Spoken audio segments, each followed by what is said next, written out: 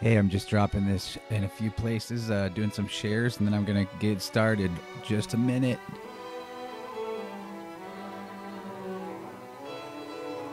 Hey, I'm just dropping this in a few places, uh, doing some shares, and then I'm going to get started. Just a minute.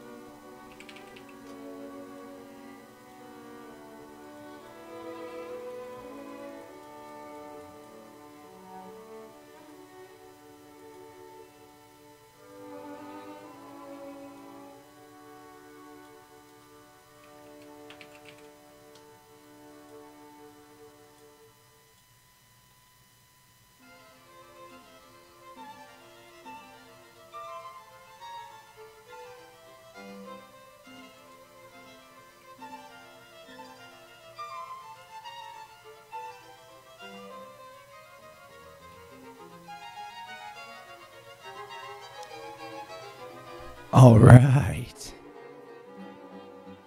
I think I'm ready to go. So, what I'm here to talk about is this Fibonacci Phi Golden Spiral ratio money magic ritual that I'm currently using my imagination to complete. And I think it's going to be an awesome experiment because I've already encountered a miracle. I mean, a small miracle, but when it's a perfect synchronicity, who cares how big of a miracle it is? A miracle is a miracle. So, I'll just say uh, before I recap what the experiment was, it what the experiment even is, which I will do. I'll tell you about the cool synchronicity that occurred. So, what uh, I planned on putting on my list of things to buy yesterday for my imaginary shopping list to do this ritual one of the most important things I wanted to get was a water filter system for my sink in my kitchen because you don't want to have all of those crazy city water chemicals getting, you know, on your hands when you're washing your hands or on your dishes that you're clean supposedly cleaning or the vegetables that you're washing to cook with. And I've had that problem for a while and I've just kind of been ignoring it. So one thing I wanted to buy in my imaginary spend was a water filter system. And amazingly, before I could even do the practice yesterday and write down that thing and imagine buying it, I found through someone sharing on Instagram a system, basically a, not a super elaborate one or expensive one, but one that definitely would work. That was being given away for free by a company that was advertising it on Instagram and I literally got it for free without having to pay anything except for shipping. And it was something that I intended to get soon, but I didn't exactly have the cash for yet. But on the very day that during this imaginary money spending, money ritual thing uh, was happening, that I planned on buying it in that practice, then it just shows up for free. So I don't know what else to say other than that's kind of like a mild miracle and pretty magical, cool first thing to have happened. And you know, there's more. Uh, I could feel the mindset already shifting, but I'll recap exactly what the experiment is in case you didn't catch the first live stream with me and Pharoh from yesterday. Uh, you might want to even go find that because we get really in depth. That one was like 50 minutes, and I'm only here to update you in about a 15 minute update, I would say, overall. And I'm going to keep these updates coming every day. And We'll talk more about things like phi and Fibonacci and what it might mean, even on a philosophical level. But today I just wanted to share a couple of the things I imaginarily spent. And I did throw in some pictures of Fibonacci stuff in nature because, you know, that's fun and it's cool to reflect on. And there's so much more I could find. If you find any cool pictures of Fibonacci spirals in nature or you see them, send them to me because I'm going to be doing this for like a month. And the more material I get from you guys about your experiences and your research on the subject, the more I'll have to talk about. So think about think about helping me out with that. I would appreciate it.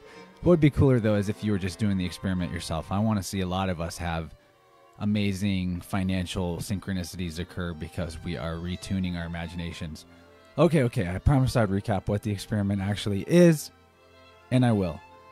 What we are doing here is every day for roughly a month, we are spending imaginary money on paper that we are increasing the amount each day that we spend by the Fibonacci sequence. So, what that means is you're adding up the previous two numbers in the sequence, and uh, that's how you get the number for that day.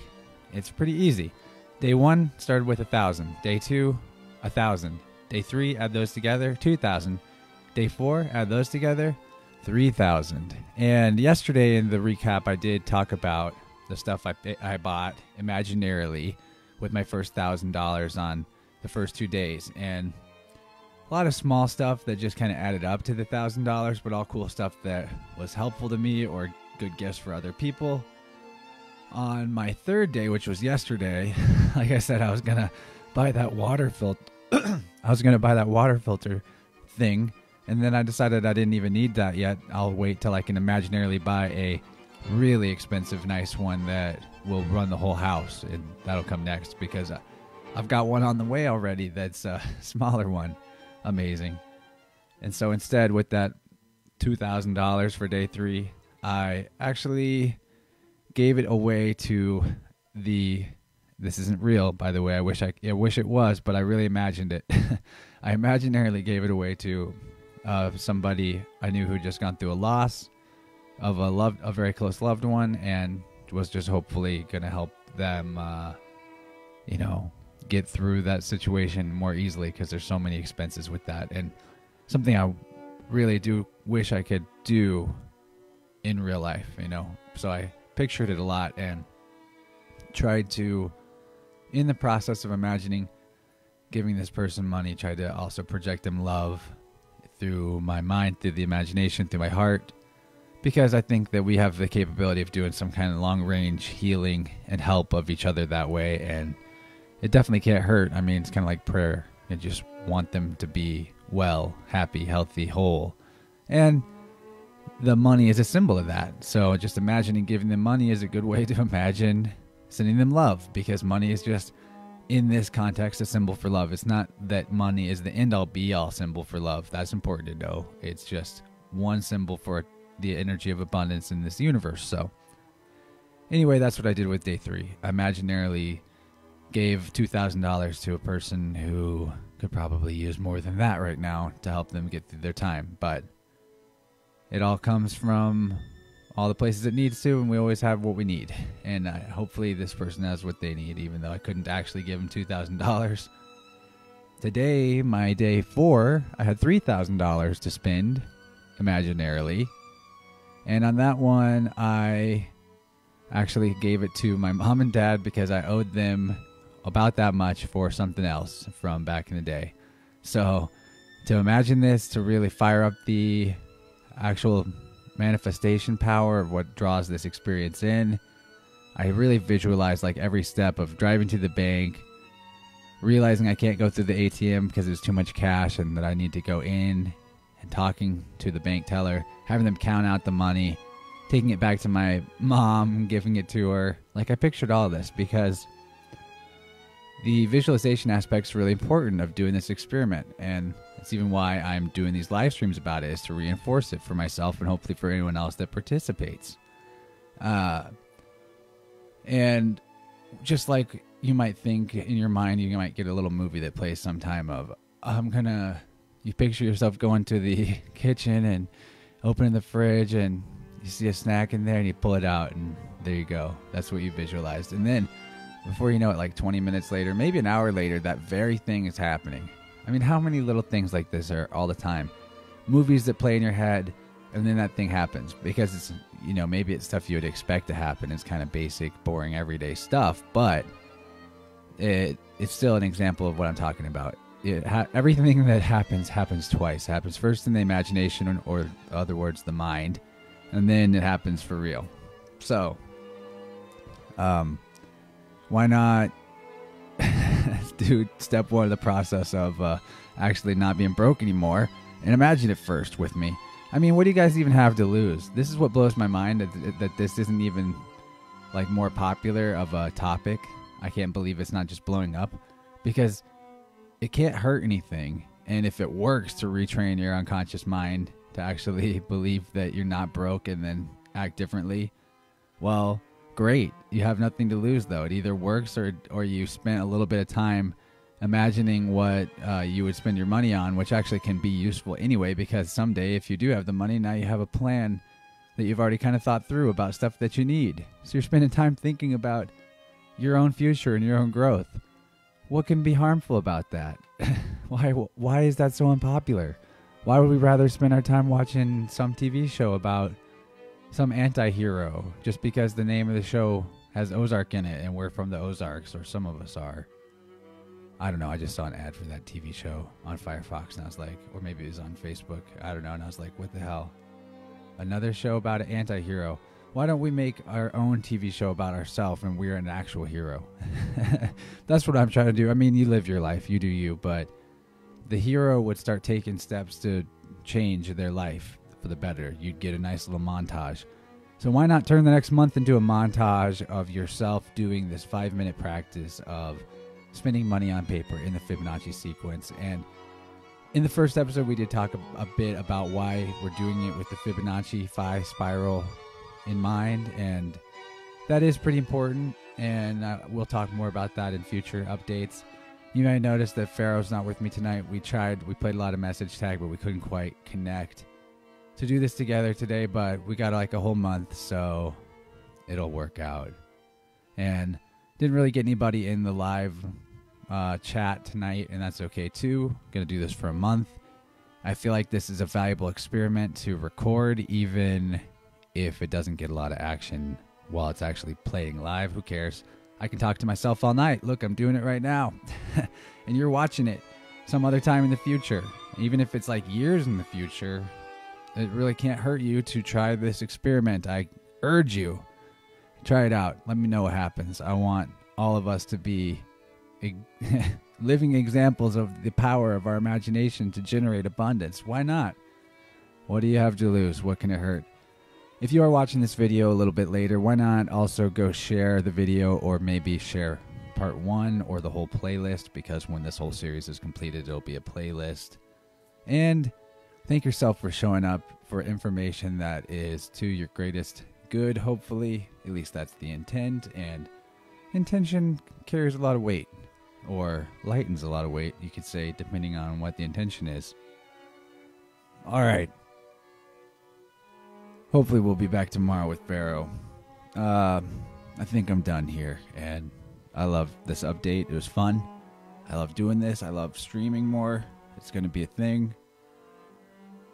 But I'm going to go eat some vegetables that exhibit golden mean rectangles and Fibonacci spirals in them and absorb the life force energy in the form of dinner and uh, be done with this stream for now. Thanks for joining me. And like I said, thanks for showing up for yourself and bringing this powerful message into your awareness that you actually have the power to generate miracles, large and small. And you do it all the time, but why not really dial it in here? And we'll catch you with another update tomorrow. And we'll see if any more miracles develop. Actually, you know what? Okay. I will tell one more mild, mild miracle, if you will. I had an appointment this morning for a massage. I've only had a massage one other time, and it was great. And I really wanted to do this one, but I kind of screwed up and scheduled and uh, some work that I had to do that I with other people at the same time as the massage. So uh, I tried to give it to my partner, but she was busy. So I was like, okay, I don't want the massage therapist to be out on their time where they scheduled this. You know, this is their livelihood. So I called up a friend and I was like, hey, man, you want a massage on me? I'll prepay for it. You just got to show up for my appointment slot that I can't make it to. Just on me for, for free. And uh, he was like, Yeah, I do, of course. and so anyway, kind of something I've just really never would have even popped in my head to do maybe in the past, which is I can't have this thing that I was going to have for myself. So just instead, I would cancel it and then, you know, the therapist would then not have a, a client and yada yada. instead, I thought I'll give it away because I can just give things away and not worry about it because there'll always be enough. And then somehow there is. I don't know how to describe it, but it's like the last couple of days, the money in my bank is just going further. I know it sounds weird. It's a very subjective thing. But I feel like I've got more to give, more to share, more opportunities coming my way than ever before. And dang, it feels good. okay. Well, like I said earlier, I'm going to wrap this up. Uh, I just had to get that one little thing out there that I already kind of feel a little more generous and feel like giving a little more than I felt before I started doing this. And it's only been four days. So something's happening to my mind. And I like it. I feel really good about it. Giving and receiving in abundance. Why not? Because we can. Why why limit ourselves? We're infinite. All right, well, that was perfect. I was going for about 15 minutes and I I think that was about a 15 minute broadcast if you cut out the two minutes of me setting up at the beginning. Thanks for checking it out. Wholeness and balance vibrations, harmony of mind, and take good care of yourself. Let me know in the comments or in messages or in emails or any which way you can how the experiment's going for you so far or once you get a little farther into it. And share far and wide the knowledge of self empowerment that we are carrying here. So, thank you, and till we speak again, see ya.